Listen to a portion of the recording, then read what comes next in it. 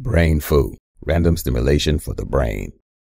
So a little while ago I showed you how to make one of these awesome full-size Captain America shields using a satellite dish as a mould. The trouble was some of my American pals had trouble finding satellite dishes and needed a cheaper build. So I went back to the drawing board and built this slightly smaller Mark II version with a nicer spun metal look. It's still tough as hell and I certainly wouldn't class it as a toy. In fact it's exactly the same design as seen in my other video where you can see me testing this to destruction in slowly increasing levels of abuse. So get comfortable, grab some popcorn, I'm going to show you how to make one of these yourself. It all starts with one of these Flexi Flyer sleds, which are relatively cheap and easy to get hold of in the States, and as you can see it has a nice overall shape, and viewed from the top it has that heroic shield shape that we all want. The first stage is to mark the centre, and for accuracy take your time and mark from multiple angles. If you have everything right, your last mark should intersect all previous lines drawn on the face of the shield.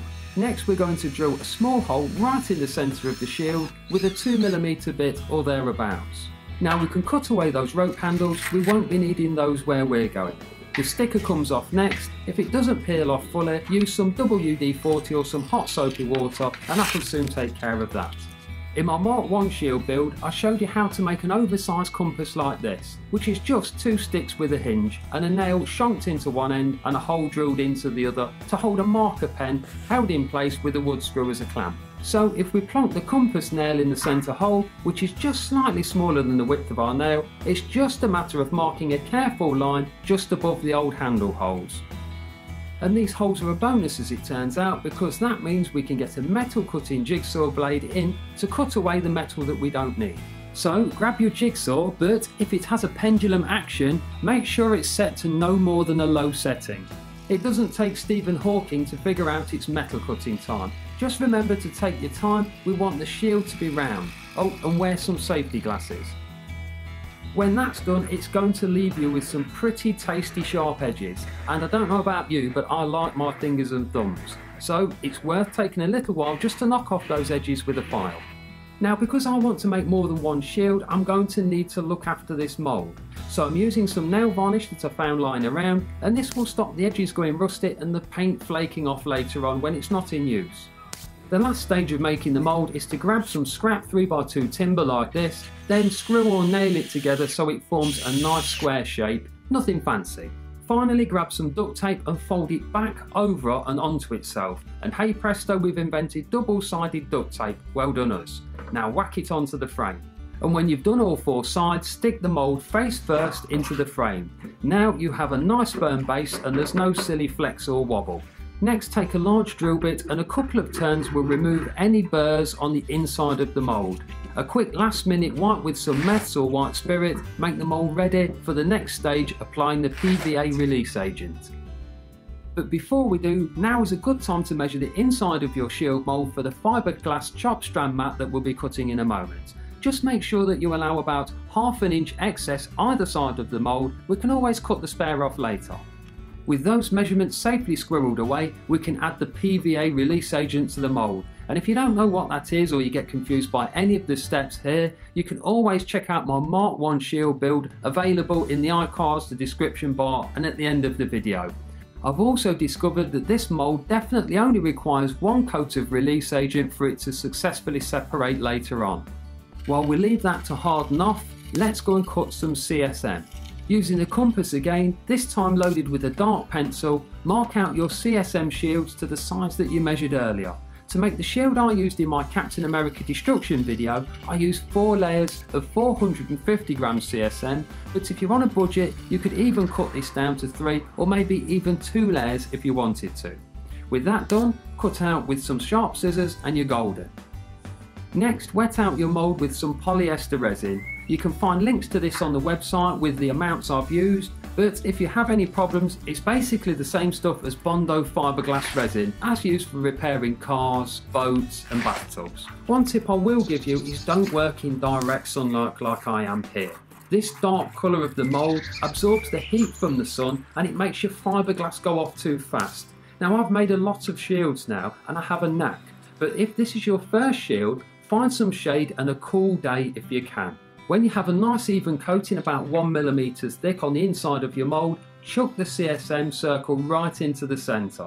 And what we have to do now is apply more resin to the top of the CSM until it goes soft and forms a dome shape of the mould. Don't be tempted to faff around, get the resin on, get it in. For a shield of this size, the first layer will use about 600 to 800 millilitres of resin and about 600 millilitres of resin for every layer that you add afterwards. When you have most of the big creases out and it's started to go transparent, grab a small consolidating roller and roller the remaining air bubbles out. You should now see any spare resin coming out to the surface and we can use this again in the next layer. Now this was actually my very first Mark II build and like a doofus I cut the CSM too large so using some sharp scissors, I trimmed off the excess and cleaned up the scissors later with a little bit of acetone. With that done, I'm going to plonk another layer on top, and because this is a four layer design, this will be the last layer before I add some bolts for the handles. Now, there's no mystery here, the CSM gets the exact same treatment as we did for the last one, and while we let this cure and harden for 30 minutes, let's look at some fixing bolts for the handles. These cheap roofing bolts are what I used in the Mark II build to keep the cost down, but if you want something a little bit nicer, check out my first video. Next I'm going to grind the dome off the top of these so they're nice and flat. I'm using a flat disc sander, but a metal file will also work. Just remember to be gentle with the threads. That's the screw threads, not your clothes. Now the shield's nice and dry, offer your arm in for the fitting position of your handles as seen in the Mark 1 build. Now we plop some car filler on the flat head we've just created and fix it into an upright position. Four studs later we should have something like this. So let's let it dry until the filler's gone hard and we can add some small bits of masking tape to the threads. This just helps protect them while we add the last layers of fiberglass. Position your last layers of CSM in place as before, but this time gently poke the bolts through the CSM so that they're fully exposed. With that done, mark the shield and the CSM with a pencil so you know the exact position it goes in later. Now remove the CSM, put it to one side and mix another 600ml or so of resin. This time the only change is that I'm using a 2 inch brush to consolidate any last air bubbles or stray strands that are hanging around the fixing bolts that we've just added. After a nice cup of tea and a biscuit, it should have hardened off enough to spin the mould over. And now's a good time to refresh that hole in the middle of the shield with the same drill that we used earlier. Now it's time for the big reveal, so turn the mould back over and we can prise the shield away from the mould. Just be as gentle as you can and take your time. If you bend or crease the steel mould at this stage, you can't use it again for more shields at a later date. There you go, not bad at all. At this stage some mild soapy water will clean your mould up for reuse later and clean the shield for the marking and cutting in a moment. Next grab the compass again and mark a line that's free from imperfections. Now I had two stabs at this because I noticed some nasty little pinholes in my first outer line. Mistakes happen. Using the same jigsaw and settings as before, cut the jagged outer edge off. Look out for splinters, work outside, wear a mask and make sure the wind is blowing away from you.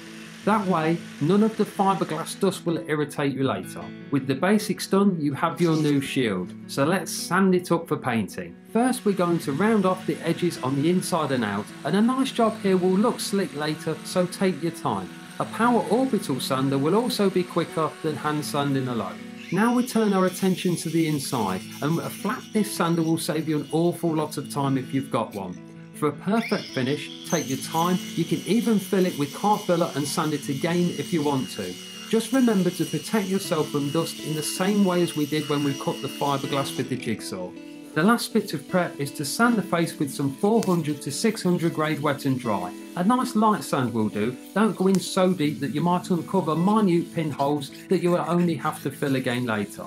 Now you're free to clean and spray with a good quality grey car primer ready for adding the silver coat and decoration.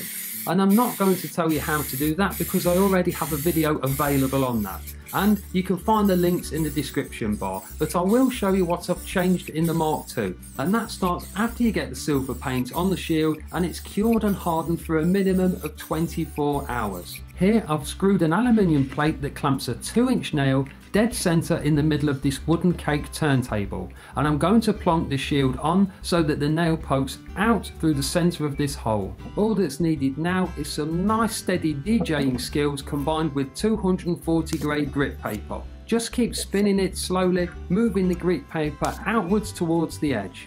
If you haven't got a cake table, you could just use some string connected to a nail in the centre hole and then the grit paper on the other side and following it around in circles. But the method I'm showing you here proved to be a lot quicker.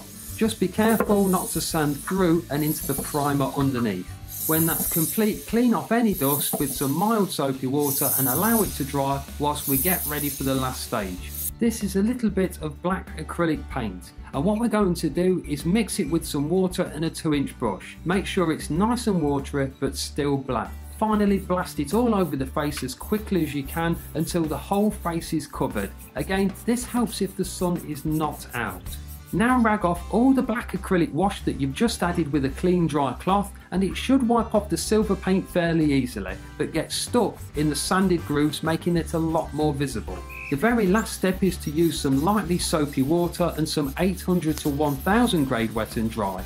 This should clean up the silver coat ready to receive the coloured circles whilst leaving the black colour in the grooves that will give you a spun metal look effect that looks really good.